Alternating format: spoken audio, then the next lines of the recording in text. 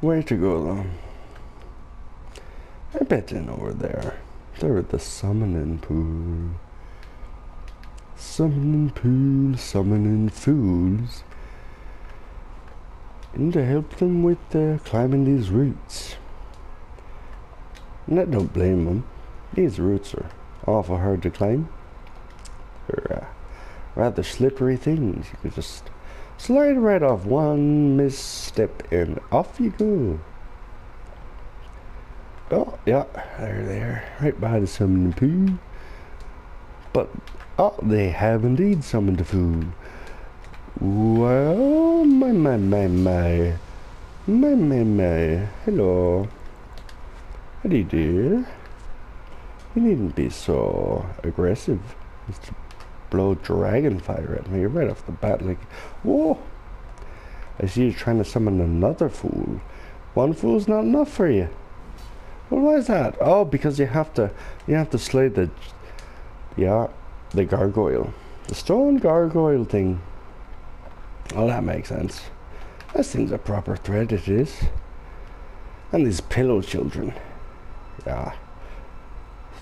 The pillow children is really what pushes this fight over the edge.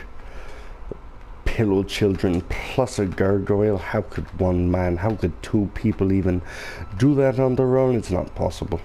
It's not possible.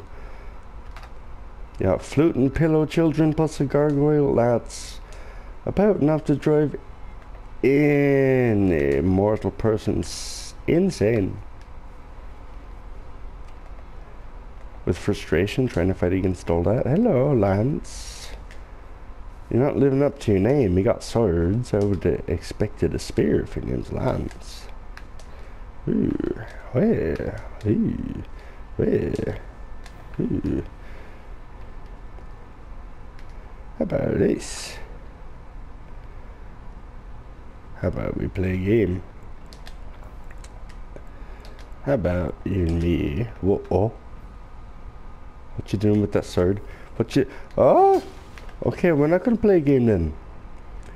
Wags... Wags... Oh, Lance, why? What, the crossbow? I said we're gonna play a game. Hold on, just let me... I know it, it's taking a bit, but I got some rainbow stones. We can play tic-tac-toe. It's a fun game, that tic-tac-toe. I only have 10 though, so we might not have enough. Hold on.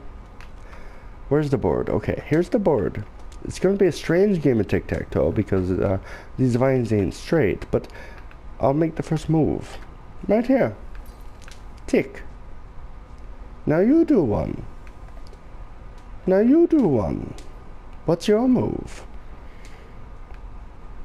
See, I'm planning to go tick, tack, toe, but they could block me. They could. They're white stones, by the way. I'm the colored stones. You don't, uh, they're unfamiliar with the game. Goodness. That's terrible. For them to be unfamiliar with the game, what kind of upbringing have they had childhood stolen from them? Really? That must be the case. Oh, God! And to be so murderous about it. Childhood stolen and to sexually assault me afterward. Jeez. What did I do? I feel sorry for people who are just that traumatized? That's their first reaction to someone wanting to play tic-tac-toe with them? Like, just imagine I see me in the street, walked up to you and say, how about the game of tic-tac-toe? And you take out the spear and you say, no, how about the, it's just, uh, how about to bum you with the spear here? How about you take the spear up the bum and uh, thrust your thrust my pelvis in in your face when you're dead. How about they uh, desecrate your corpse? How about they murder you and then do a necrophilia? That's my response. That's my response to your tic tac toe. Goodness, I mean, what does it take to create a person that deranged? I shudder to think of it. I shudder to think.